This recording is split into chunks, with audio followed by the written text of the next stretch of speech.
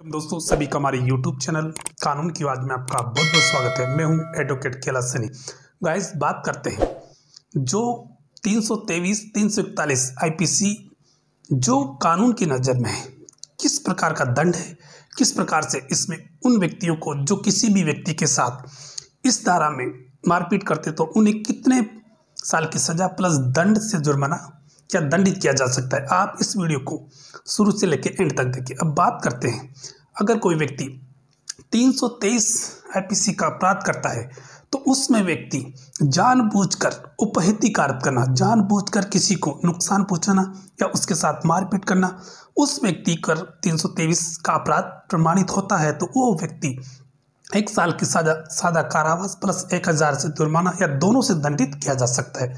इसी प्रकार, अगर कोई जानबूझकर स्वेच्छा जो व्यक्ति अपने रास्ते जा रहा है, उसे उपहति मतलब उससे रोक कर उसके साथ मारपीट करता है या उसे गंभीर प्रकार से मारपीट करता है तो उस व्यक्ति पर धारा तीन सौ इकतालीस का अपराध अगर प्रमाणित हो जाता है तो वो व्यक्ति उसे एक माह का सदा कारावास प्लस पाँच सौ रुपये से जुर्माना से दंडित किया जा सकता है।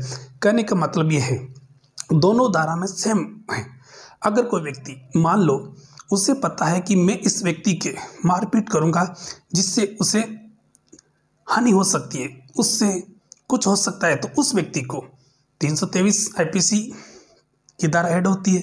अपराध प्रमाणित होने पर उस व्यक्ति को एक साल की सादा कारावास प्लस एक हज़ार से जुर्माने से दंडित या दोनों से दंडित किया जा सकता है। उसी प्रकार आईपीसी तीन सौ इकतालीस, आपको ये पता है कि ये व्यक्ति चल रहा है, उसे रास्ते को रोककर, उसके साथ मारपीट करना।